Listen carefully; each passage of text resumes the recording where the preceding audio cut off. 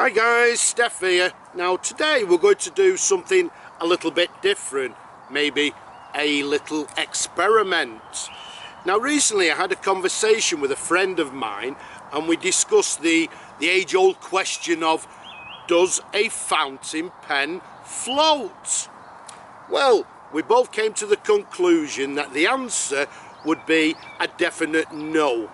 So I thought about it a little bit and I thought, right, so I said to him, I bet you I can make a pen float.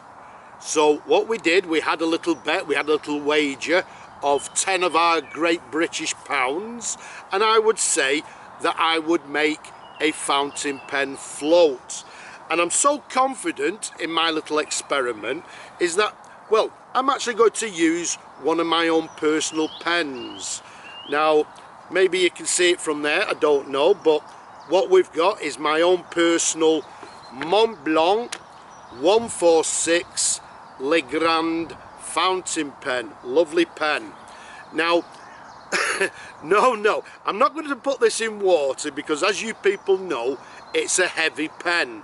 And I'm not that daft. If I put that in water it's not going to float.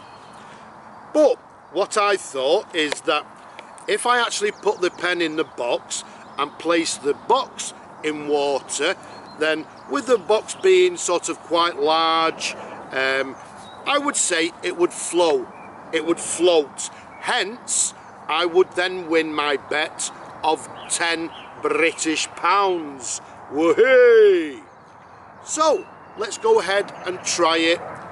Let's go and find some water. And voila! Here's our water. This is actually the River Mersey. It actually runs through my hometown of Stockport. And this is where I'm going to test my theory of whether a fountain pen floats. And what I propose to do is actually go down there place the box on the water gently and then we'll see if the pen floats. So should we get on with it? I'm not going down there. It's too dangerous. No it's too dangerous. In fact what I'm going to do is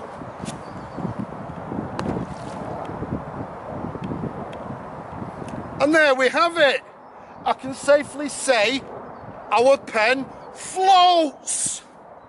Hence, I win the bet of 10 British pounds. Hurrah! But there we go, we've proven that a pen can float.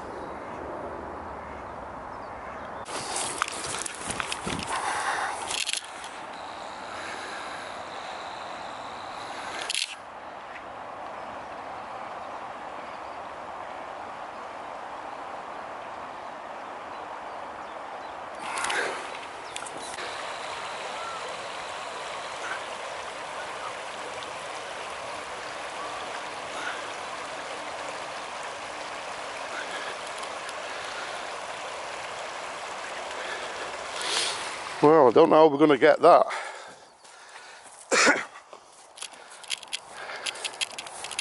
how do you suggest we get hold of that now? It's gone flipping, it's gone way down the river now. Look at the current. We're not going to be able to get that now, are we? Oh my word. Well, I've been stood here an hour now. No sign of the pen. But as you can see there, the current is rather quick so uh, I've got an horrible feeling it might, might be up there somewhere upriver.